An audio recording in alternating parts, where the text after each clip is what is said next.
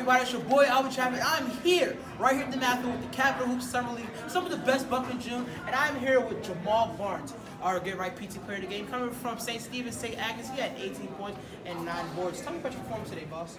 Um, today we just all we did was just run the ball. We tried to get fast buckets, quick buckets, just run the floor, get rebounds, and uh, play with energy. So play with energy. We were just trying to get as many quick, easy passes as we can.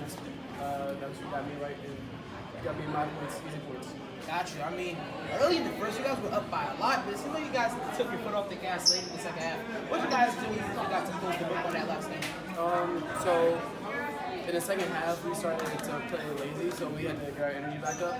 So once we all started playing our energy, coaches just started talking, to, being noticed more. Uh, we had to just stop getting comfortable with the game and like keep running and keep playing as hard as we can, and that's what opened it back up again. That's what I mean, you guys had about a 6'10", 6'11 guy and uh, Andre Screen out there. How effective was he to you guys' victory again? Um, I think Andre was a big part of our win.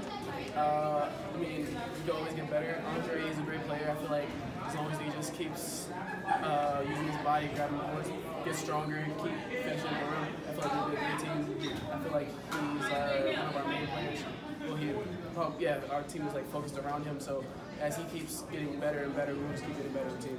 Gotcha. I mean, you guys did a lot this year. You guys won the Virginia State Championship. You guys killed it in your conference. But what should we be expecting more from you guys as you guys continue to guard this conference as well? Um, so this year we just want to keep playing hard and keep having fun. So we plan on doing the same thing as we did last year, keep winning, less, we don't expect anything less than what we last year.